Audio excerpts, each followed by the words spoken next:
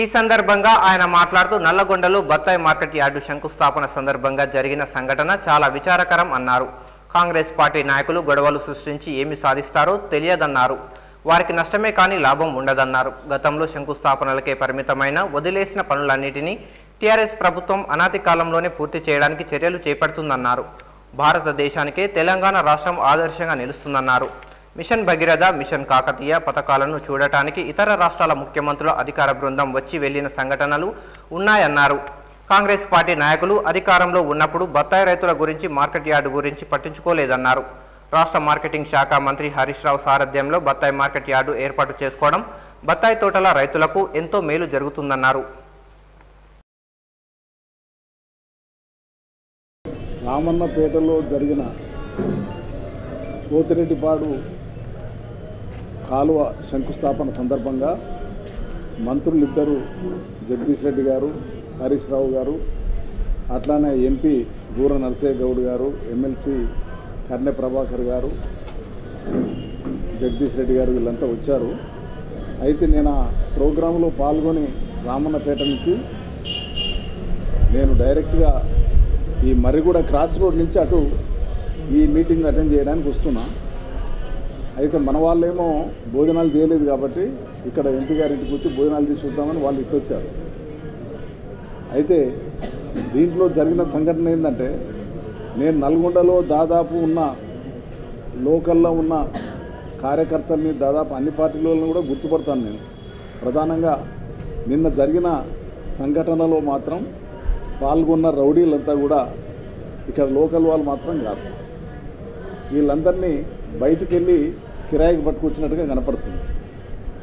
ప్రధానంగా సంఘటన ఏంటంటే తెలంగాణ రాష్ట్ర సమితి చేస్తున్నటువంటి కార్యక్రమాలన్నింటినీ చూసి ఓర్వలేని కాంగ్రెస్ నాయకులు ఈ పార్టీ యొక్క ఇమేజ్ని దెబ్బతీయాలనే ఆలోచనతోనే ఈ రకమైన దౌర్జన్యకరమైన సంఘటనలు చేస్తూ ఉన్నారు.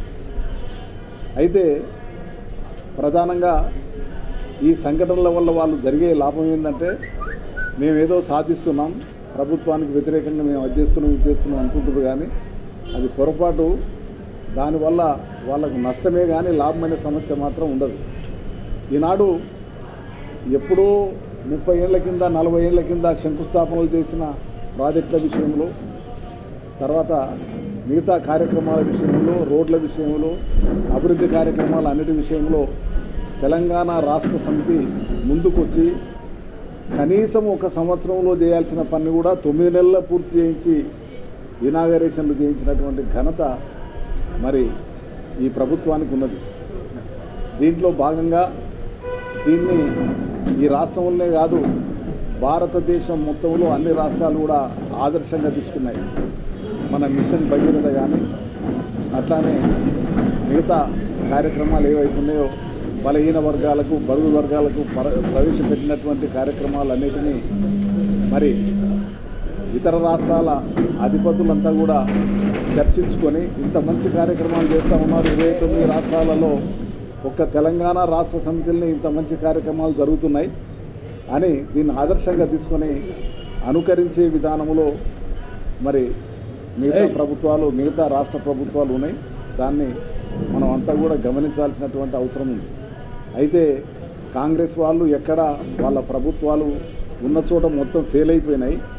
ఇక ఉన్నాయి కాస్త కూడా ఖతమయ్యే అవకాశానికి వచ్చింది.